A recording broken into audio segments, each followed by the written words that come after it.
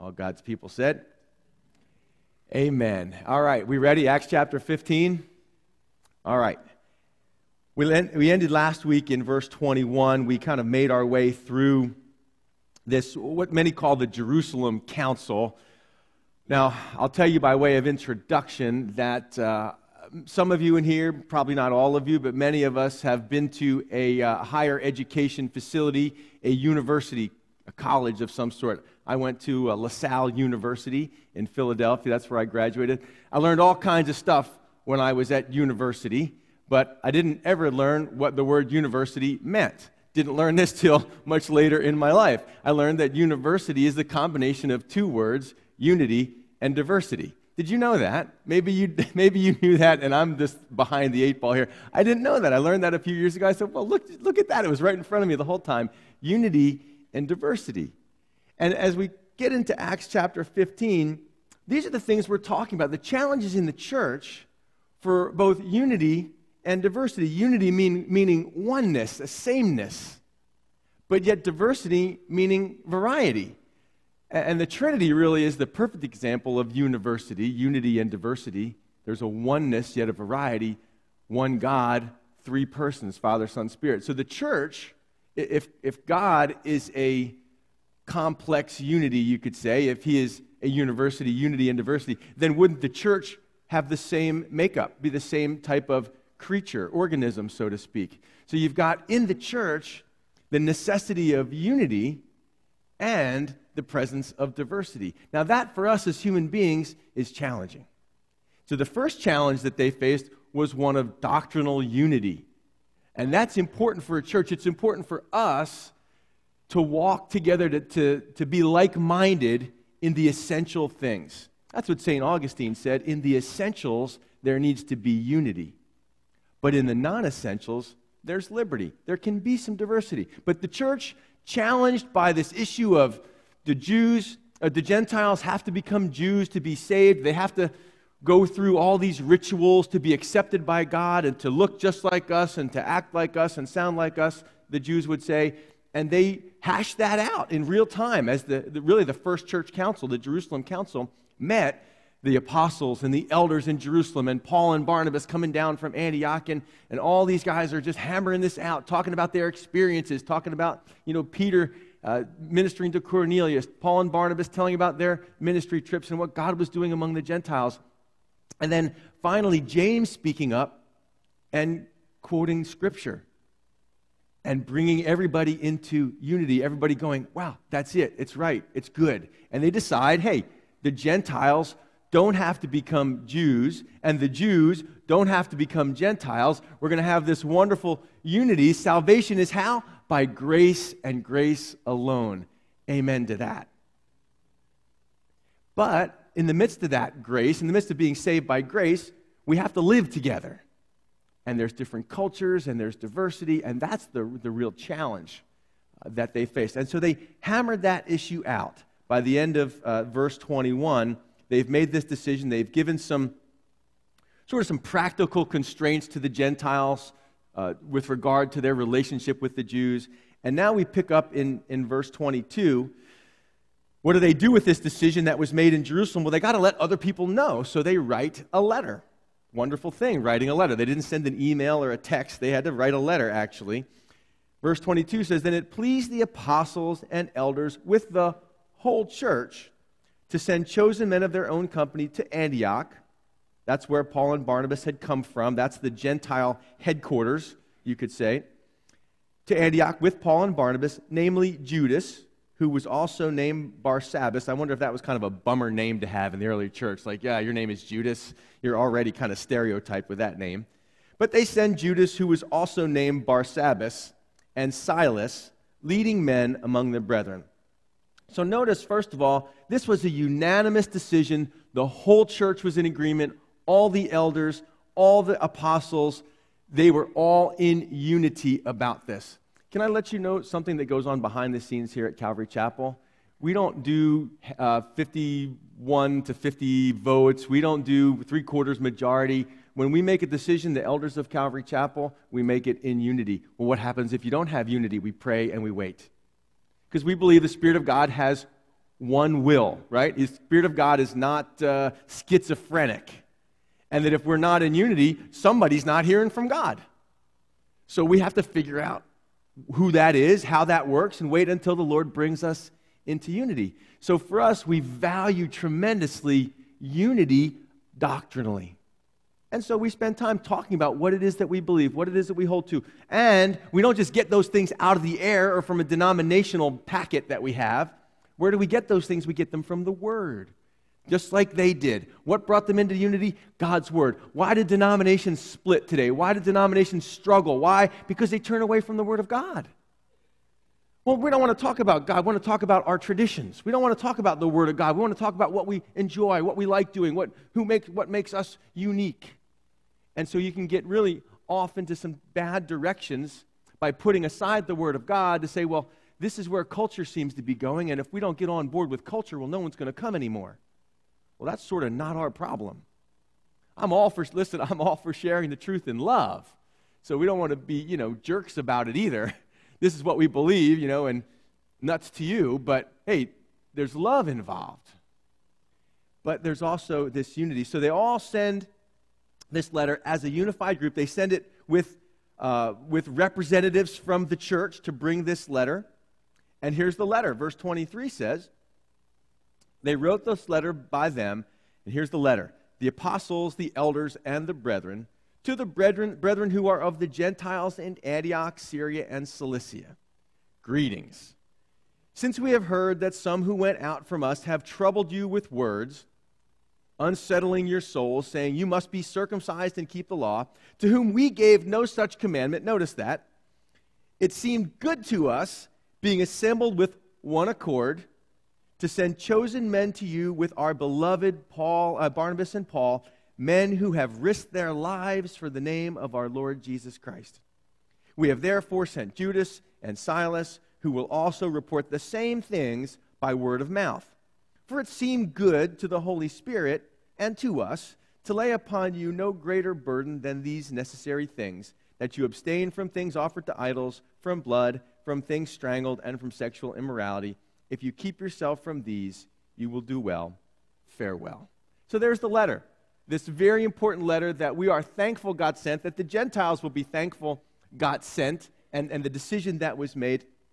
Let's notice a couple things as we go through. Uh, the first thing is that uh, they've been troubled with words. What are the words? Well, hey, you guys really can't be saved unless you become like Jews. Now, to the Greeks, this whole issue of circumcision was kind of off putting. Now, maybe you don't know, but because uh, you might ask, well, how would anybody know? In the Greek culture, athletics, athletic games, you know the word gymnasium? In the Greek, the root word for gymnasium is naked. They participated in athletic events with no clothing on.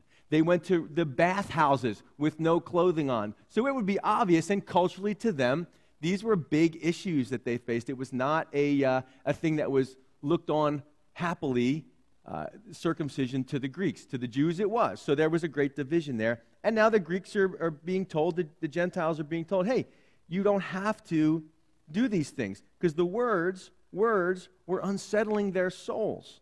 Notice that. Can't words have that effect on us? Words can have that effect. Words can be very unsettling. When someone troubles you or harasses you, it can be unsettling to your soul. And that's what was happening. They were telling him, hey, you got to keep the law. One more note. One more note about works versus grace. Keeping the law. Simple way to think about it works are what we do for God, grace is what God does for us works or what we do for God. Grace is what God does for us. Some people have mistakenly understood the Bible to be a manual by which I save myself. If I just do what's in here, then I will be saved. And I think that message comes across, and people get freaked out like, you know, my whole salvation depends on me doing all these things and lining up with all these rules, rules and rituals. And imagine, I was trying to picture myself like, you know, handcuffed behind my back, tossed into the ocean with a 50 pound weight on my feet, and a scuba diver coming in and handing me the manual for the handcuffs. You know, here's, here's how you get out of the handcuffs. There it is. Go ahead, Steve. And they're, they're just with me going down, read it there, Steve, and, and go ahead and unlock yourself. Like, well, that's crazy. I can't unlock myself. I mean, what if the, what if the local rescue squad had a works based philosophy instead of a grace based philosophy? What if when they showed up on the accident scene, they gave you the manual for the jaws of life? I know you're stuck in the car, but uh, we've got, we'll, we'll even give you the tools, but now you have to save yourself. Here's the jaws of life, and you know, I'm bleeding, I'm hurting, I cannot save myself. And it's crazy to think about that. But sometimes in church we have that attitude, don't we? Sometimes we have this, well, you know, grace is good, but you, you got to do this yourself. And I'm not saying there's no place for works. The Bible is not a manual for how to save myself. The Bible is a manual that tells me how God saves me, how God saves a sinful person, and then the result of that in that sinful person's life. That's what the Bible tells. I mean, boil it down. That's what the Bible tells me, and that's was the message that that was being uh, spoken by this letter. Not one of, hey, you guys have to save yourselves by following these rituals. No, it's, hey, the grace of God. The grace of God. We can't say that enough, church. It's the grace of God and, and they put an exclamation point after that, and so should we.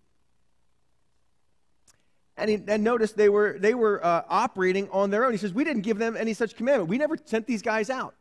Just because someone goes out and calls themselves a Christian, has a message, doesn't mean they're really representing Christ.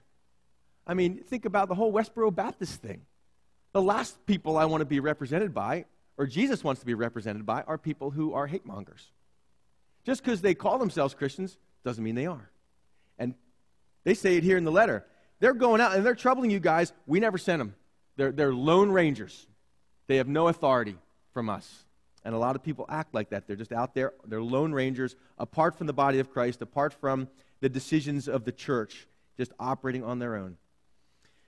So they send Barnabas and Paul. I love the comment they make about these two guys, men who have risked their lives for the name of our Lord Jesus Christ. I wonder how many of us could say that to me, that's like, oh, you know, I remember going to like some different uh, pastors' meetings, and you meet someone who's like a pastor in Iraq, and you, they tell about how they, you know, are sharing the gospel, and they've got to hide, run for their lives, and they're meeting in secret places, and you just you feel in your heart like this honor, right?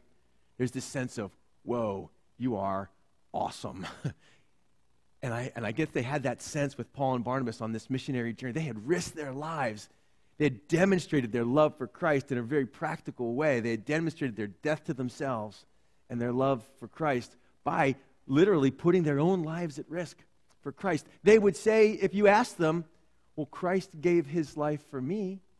Why shouldn't I do the same for him? Wouldn't you think that'd be their answer maybe if you asked them, Why do you do it? Paul would say, It's no longer I who live, it's Christ who lives in me. And the life I now have, I live by faith in the Son of God who loved me and gave his life for me men who have risked their lives. Very few of us in here can probably say that. We're not even willing to risk our reputation for Christ. Verse 27, they send Judas and Silas, and, and there's going to be this unity. And I like verse 28. It seemed good to the Holy Spirit and to us to lay upon you no greater burden than these necessary things. It seemed good. Don't you think they could do better than it seemed good? Mean, wouldn't you think it's we God spoke to us directly and we heard a voice from heaven and it said these things? You know, they go, well, you know, we hashed it out and we made a judgment and there was unity and it and it seemed the Spirit was seemed to, seeming to validate that. And so here's our decision. And they just made a decision in real time. They didn't get paralyzed by these things. They didn't, you know, have to hash it out more. They, they read the Word of God, they shared their experiences, and they made a decision. That doesn't sound like a lot of council meetings today. A lot of church council meetings just, you know, they can't make a decision on anything. They said, hey, seemed good to us. James spoke, Word of God and the Holy Spirit, and here's what we decided. And so the letter is written, and the letter heads off from Jerusalem up to Antioch uh, to the Gentiles. Verse 30 picks up. So when they were sent off, they came to Antioch, and when they had gathered the multitude together, they delivered the letter. Watch the reaction. Verse 31 When they had read it, they rejoiced over its encouragement. I'll bet they did. Now, Judas and Silas themselves, being prophets, also exhorted and strengthened the brethren with many words. And after they had stayed there for a time, they were sent back with greetings from the brethren, to the apostles. So they hang out there in Antioch and things are good. They read the letter. There's rejoicing about the grace of God and that they don't have to become Jews and that they can still, you know, hold on to their Gentile, their, their Gentile culture with the exception of their idolatry. That was the things, the exceptions that were made about food being eaten and, and uh, about sexual immorality. Did I mention that? Sexual immorality. Hey, these are part of idol worship. He says, and the Gentiles are going to put those things aside. They're going to compromise and they're going to walk away from their idolatry, but they don't have to become Jews. Again, we're going to see this word, verse 34. However, it seemed good to Silas to remain there. So the church says, "Oh, thank you guys for coming. Thanks for the letter. Safe travels back to uh, back to Jerusalem. We'll see you next time." And off they go. And as as they're heading out, Silas goes, "You know, I really feel like I should stay here. I really feel called to just hang. I'm not going to go back." Evidently, he didn't have any ties in Jerusalem. Nothing that he necessarily had to go back for. He's ministering there in Antioch. He's enjoying this church on fire for the Lord. The Holy Spirit giving this unity there, and he says. I want to hang out there. I just, I, you know, I like this because I meet so many Christians that say, How do I know the will of God? Is this the, I mean, we get crazy nuts over what is, is this the will of God for me? And, and we're so scared to make a mistake that maybe I, I'm going to say, well, maybe God wants me to go back to Jerusalem. And, and so Silas seems to have a sense. He says, it seemed good to Silas to stay there. So I think sometimes, church, we can go a little bit too crazy about wanting to know God's perfect will for are, should we be here or should we be there. I come back a lot to uh, Paul, who says, uh, you know, wherever I am, God leads me in victory. Wherever I am, I am the fragrance of, fragrance of Christ. Whether I'm in this church or that church or the other church, I'm the fragrance of Christ everywhere. So maybe we put a little too much emphasis on where we are to be over who we are to be. Maybe people should worry more about who they are in Christ. That Christ is changing their character, what he's doing. Am I the fragrance of Christ wherever I go? Maybe you should figure that out before you worry about where you are. Should I move to this place? Should I go to that college? There's so many questions, aren't there? You know, you go down the aisles of should I eat this cereal or that cereal? Is it Lucky Charms or this other one, you know, Count Chocula. My parents never let me eat that stuff. I'm still going to counseling about that. I'd have to sneak it when, when they weren't home. I'd sneak Count Chocula. I mean, it's good stuff. That's, that's cereal. But do you understand what I'm saying? You, we can go crazy going Jerusalem or Antioch or here or there. Pray about it.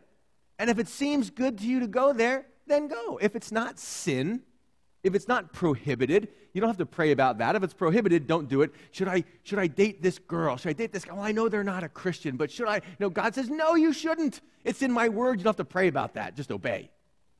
But when it comes to matters of preference, then you know what? If you like being in Fluvanna County, stay in Fluvanna County. If you go visit Italy, you go visit Nathaniel over in Italy, or you, you go visit Nepal and you see some of our friends there, you go to Ukraine, and, and you, wow, I'm kind of my heart's just kind of feeling drawn here. Pray about it and stay if that's where the Lord is calling you, if that's where you feel like you should be. And I just like this about Silas. There's sometimes there's this beautiful simplicity. Uh, maybe, uh, maybe it's the way I see God. And maybe it's because I grew up in a gracious home. I don't know. Some of you grew up in legalistic homes where you could never do right and you're always worried about, you know, whether or not someone's going to be mad at you or upset with you. And maybe because I grew up in a pretty gracious home, it's easier for me to get this. I just enjoy the bigness of my God. I enjoy His grace. That, you know what? I've recognized there's some things in life I'm just going to blow it. I'm just okay. I'm just, I'm just going to blow it. I'm human. I do my best to discern the will of God. I do my best to read His Word and hear His voice, but I'm human. I don't always get it right. But I trust God's love and grace in my life and His leadership in my life and His ability to reveal things to me. And even with Paul, we're going to watch as Paul heads out on his next second missionary journey, that even Paul's going to struggle with, you know, he's going to try to go here and the Spirit's going to stop him. He's going to try to go there and the Spirit's going to stop. I just trust God that way in my life.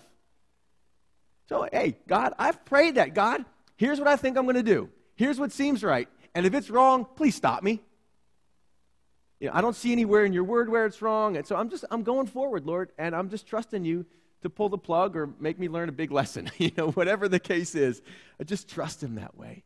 And it just, you know, I think it was Watchman Nee that told the story about a, man who was in his church in China who was struggling with discerning the will of God. Said, oh, I just don't know what, what God wants me to do. Should I go here? Should I go there? Should I stay here? Should I do this? And just paralyzed. The paralysis of analysis. You know how that works.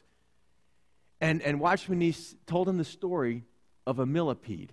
And there was a millipede who just couldn't decide which leg to move. He did, do I move leg number 579 on the right?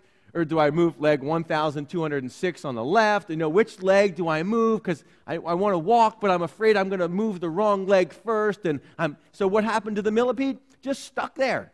Couldn't move anywhere because he couldn't decide which leg to move. But then you know what happened? As he was deciding this all night, laboring about which leg to move first, all these legs, all these options, which one first, all of a sudden, morning came and the sun began to come up. And he was so intrigued and drawn to the sun that he began to just move. He stopped thinking about which leg to move and just went toward the sun. And I think that's really good advice. Don't you? Stop worrying about which thing to do first and ha- just go toward the sun. Jesus Christ. And I think he'll be able to direct and lead you. And that's what we see with Silas here. Silas says, Hey, you know, I'm going to hang out here. So, verse 35 says, Paul and Barnabas also remained in Antioch, teaching and preaching the word of the Lord with many others also. Man, I would love to be a to see a recording, to see a videotape, if such thing existed, of the church in Antioch in those days. I mean, they had such a buff list of teachers there.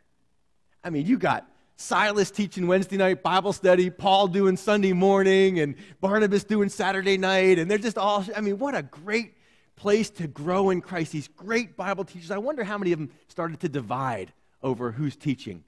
Oh, you like Silas? Well, we really like Paul. We don't, you know, matter of fact, if Paul's not teaching, I don't go to church. Because we don't like, because Silas is teaching this Sunday and we don't like Silas, but we like Paul. We connect with Paul. But what a, they're all good, right? Paul says, you know, we're all just servants of Christ. We're not, you know, competing here. We're all just all for your benefit. You can get something from anybody in that way. That they're all preaching and teaching and God is moving and they're, pro- you know, they were prophesying and strengthening and exhorting and man, I just get excited when I read about what's going on in that church. And then we come to verse 36. Let's read this section and then we'll talk about uh, the diversity part of things. Verse 36 says, Then after some days, we don't know how long, but a good length of time, Paul said to Barnabas, Let's now go back and visit our brethren in every city where we have preached the word of the Lord and see how they are doing. So things are rolling in Antioch. Paul has not forgotten about the disciples that were made on his first missionary journey. You see, Paul wasn't just about notches in his belt and, and numbers in the denominational meeting. You know, it, well, Paul, how many people did you save this week? Well, we had a meeting and 75 people gave their lives to Christ. You know, it wasn't just about numbers for Paul. He actually had a heart to see them come into the fullness of what Christ had for them. He actually had a heart to see them discipled. Now, I think the church can too often get into that numbers thing, right? Just because people come forward, just because someone starts their walk with Christ doesn't mean they're going to finish their walk with Christ. And I, as I've, you know, walked with the Lord a little bit more, and I've seen, we have a concert here, an event there, and you say, anybody want to get saved? And people come forward, and then, you know, they're there that week, and then you never see them again. And you go, wow, you know, that's a bummer. And so I began to go, you know, what's really important to me is not that people come up and profess their faith on a Sunday morning or at an event. What's more important to me is that they cross the finish line on the other side. Because the one that endures to the end shall be saved.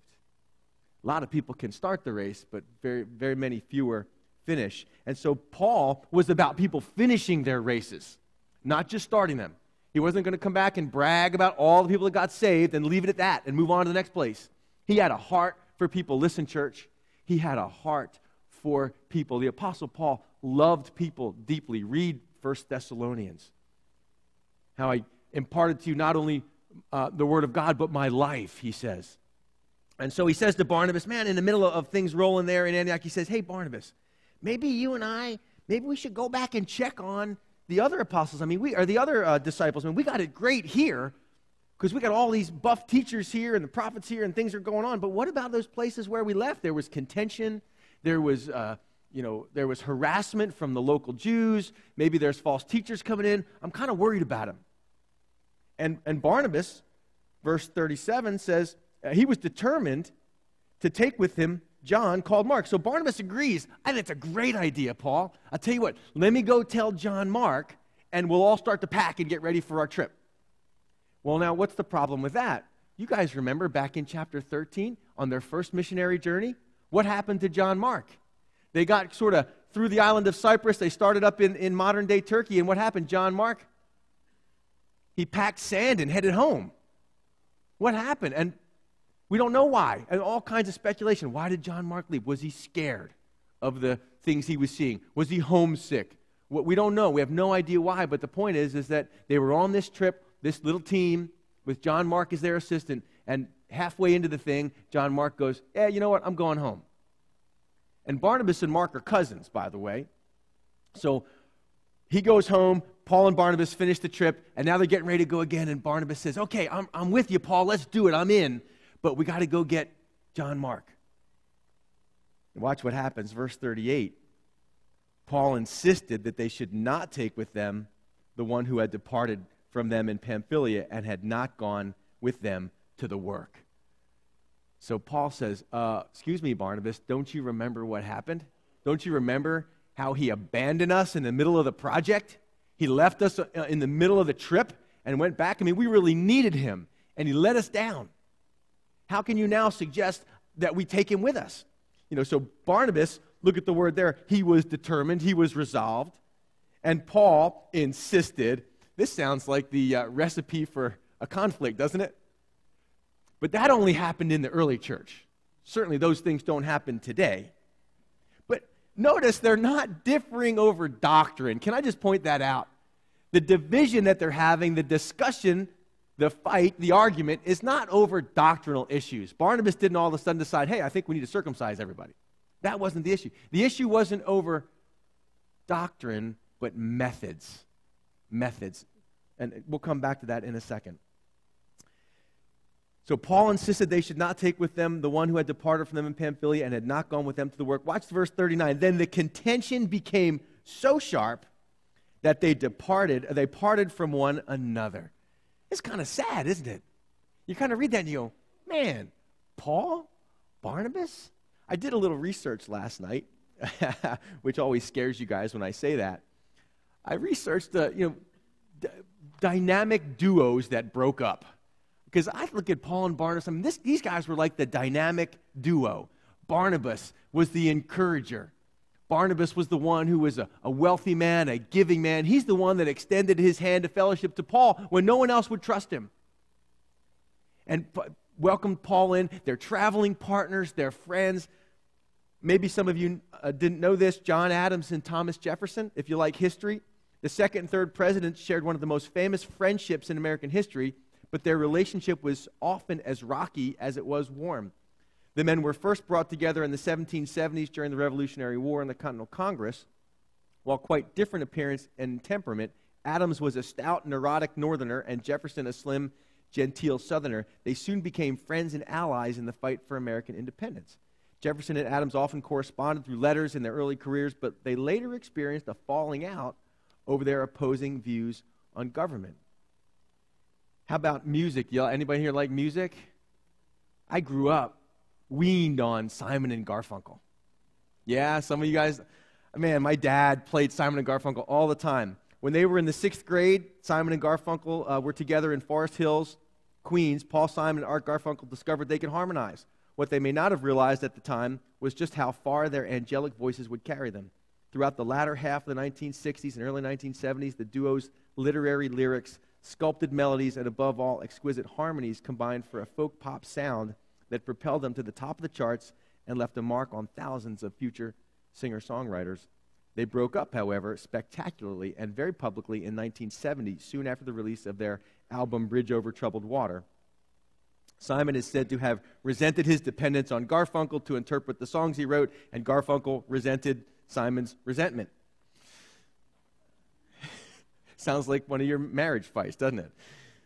They had a fight over a tour, and uh, Garfunkel said that was the, our worst fight ever. After all that shouting, we called it quits. And if you're a tech person, we can talk just briefly about uh, some uh, a breakup in the tech world. You know who I'm talking about if I say Mark Zuckerberg and Eduardo Saverin. These are the guys that uh, founded Facebook. The breakup, anyone who has seen the social network knows one side of the split. Saverin and Zuckerberg founded Facebook together. Disputes over company direction and Saverin's lack of commitment led to a messy partnership, and, and you know how that goes. So there's just three simple examples of dynamic duos that struggled to get along and to continue in their relationship. So it happens, it happens in churches, doesn't it? I mean, you can kind of think about how this would go. Barnabas, arguing for Mark, would say to Paul, Paul, how can we not take him? I mean, our God is the God of second chances. Remember you, how can you how can you turn John Mark down after what God's done for you? And aren't we glad that even though maybe we turned away at one time, that God took us back? or maybe it didn't disqualify us from ministry. How many of us would have been on, yeah, Barnabas is right? How many of you would say, I think Barnabas is right? He, he needs to be gracious to John Mark. They need to give him a second chance. Maybe he was just young, or maybe he was scared. We can justify it, and maybe we need, you know, he needs a second chance. We need, he needs to be discipled. He needs just some encouragement. Would you say amen to that? Yeah, some of us would say amen. We would say, well, Barnabas has got it right. But then think about the Apostle Paul. I mean, Barnabas, don't you get? I mean, we are doing dangerous work. We need people that are committed. I mean, we've been, our lives have been in danger. I don't want someone alongside of us that's going to jeopardize the mission or compromise uh, what we're doing at just the wrong time. This could put everything in danger. And who would argue with that? I mean, certainly you want people that are, are you know, have been changed. Paul might say, well, I don't know that John Mark's really changed any. Looks the same to me. See, he has one approach. Paul says, well, I want to take someone who's ready for the work. And Barnabas says, Well, I want to take someone and use the work to make them ready for more ministry. Who's right? Well, the Bible doesn't tell us who's right. Nobody said, you know, there's some speculation. Some people say, you know, that this Paul was right. Some others say Barnabas was right. We don't get it from the Bible, so I hesitate to say anything about it. But here's what I want to tell you. Let's, let's read just a couple more verses and then we'll, we'll make some personal application to this because this kind of thing happens all the time, doesn't it? I mean, these things happen. We just disagree over stuff in the church. I mean, we're not disagreeing over doctrine necessarily. We tend to find more unity over that. The disagreement is, oh, how loud the music should be, or what kind of this we should do, or what kind of programs we should have, or how we should do ministry. And, and I've been involved with that in my own life. And there's people I go, well, I love you, but I can't do ministry with you because we just got two different approaches to ministry. And that's okay. Watch this. The contention became so sharp. By the way, the word is paroxysm, if you like vocabulary words. It means a violent expression of emotion. So this was no kind of discussion, this was a sanctified argument.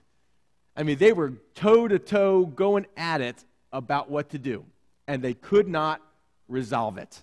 They didn't, they would not, neither would yield. And by the way, this is the kind of what makes them such great apostles, what makes them so great at what they do are these personality traits. I mean, the fact that Paul is going to dig in his heels and not yield, we love about the apostle Paul. That's the same uh, personal trait, the same uh, personal attitude about Paul that gives him the ability to go spread the gospel in the face of great persecution because he's not going to cave in. He's, he's, gonna, he's got his convictions and he's going to stick to them. And I love that about Paul, don't you? We're thankful for Paul and his conviction and his stick to itiveness, his willingness not to yield on his convictions. But we love about Barnabas that he's an encourager. So watch what happens. So Barnabas took Mark and sailed to Cyprus. And Paul chose Silas and departed, being commended by the brethren to the grace of God. That's why some say Paul is right, because it says that, well, the, the church kind of commended them, but not Barnabas and and Mark, but I think that could read too much into it personally. Paul chose Silas and departed, being commended by the brethren to the grace of God. And he went through Syria and Cilicia, strengthening the churches. So the mission was accomplished, wasn't it? Remember, their first missionary journey started in Cyprus, which was whose hometown? Whose home, home island? That's where Barnabas is from. So Barnabas grabs Mark and says, Come on, cousin, we're heading home. We're heading down to Cyprus. So they go south, and, well, really southwest into the Mediterranean Sea and to Cyprus. And Paul says, Come on, Silas, we're heading north to where I'm from. And they go through the region of Cilicia.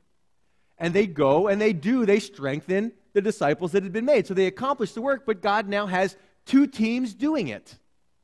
He's doubled the team. So, what do we make of this? What do I, as I went through this, I thought a lot about this. There's a couple other verses that come into play here. Uh, again, the message is still the same, it's the methods that they disagree on. So, the first thing I would say as a church, let's learn to appreciate diversity. Those things that make us diverse. See, we get so into unity that we kind of mistake it for, well, we need uniformity. That means all of us have to think the same thing and do the same thing and operate the same way all the time. And that makes for a really boring church. And pastors, I'll tell you my own kind of personal thing is I'm very careful when I ask someone to do something, I want to give them the freedom to do it their way. A lot of pastors struggle with that, I think. I want to make sure it's done well according to scripture and doctrine. But you know what? You're you and I'm me. You're not going to do stuff like I'm going to do it. And, and I'm thankful for that. And it takes a, doesn't that take a letting go of control? Sometimes? Doesn't that take a, hey, I want to appreciate that not everybody thinks like me, that not everybody is wired like me? And can we leave room for that in the body of Christ? I mean, maybe, maybe the contention could have been less sharp. Maybe they could have said, look, you know, Barnabas could have said, look, Paul, we just have different approaches to ministry.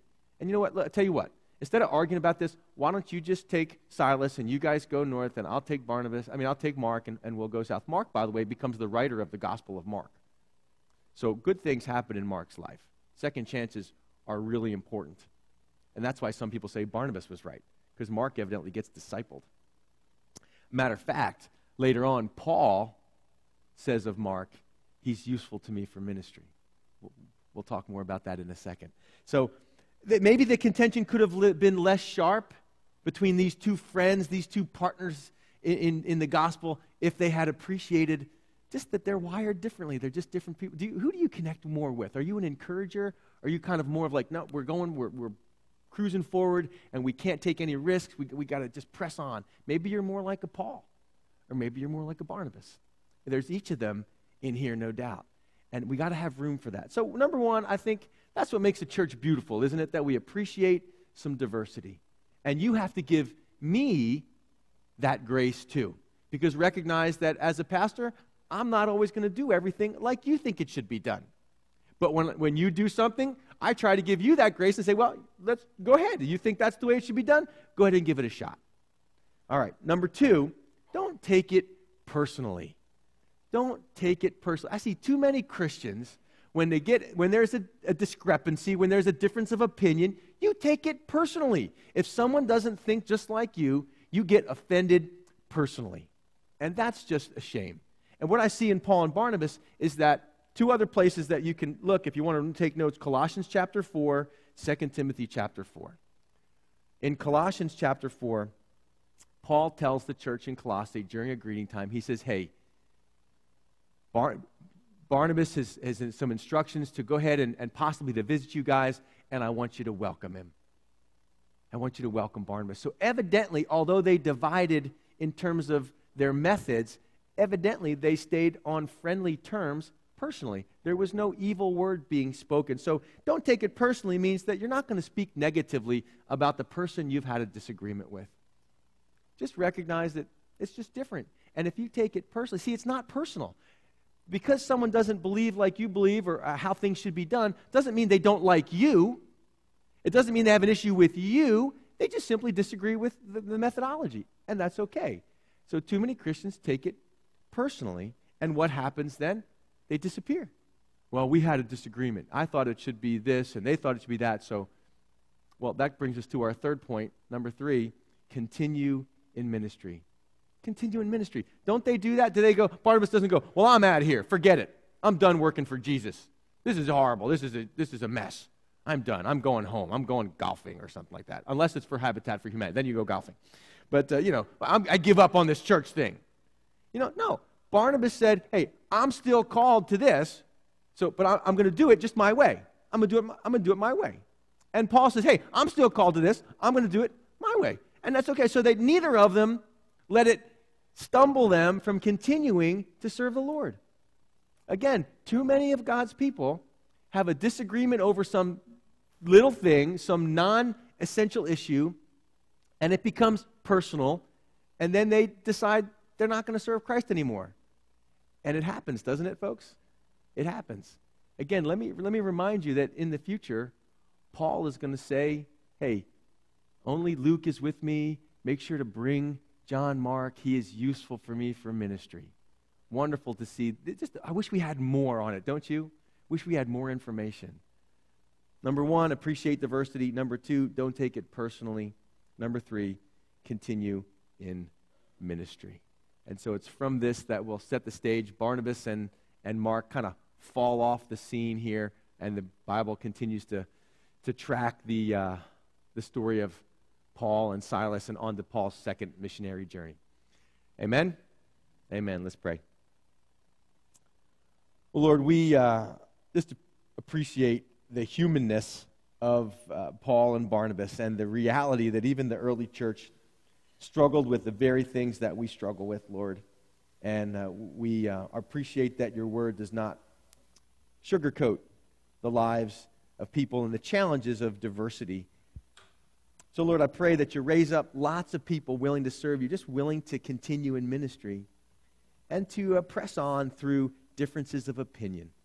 Lord, we know they're going to happen, and I pray that our eyes would be focused on you and what you've called us to do. And I pray that you help uh, settle, Lord, settle these differences of opinions. We can agree to disagree and still love one another. It's in Jesus' name that we pray. All God's people said, Amen. Amen.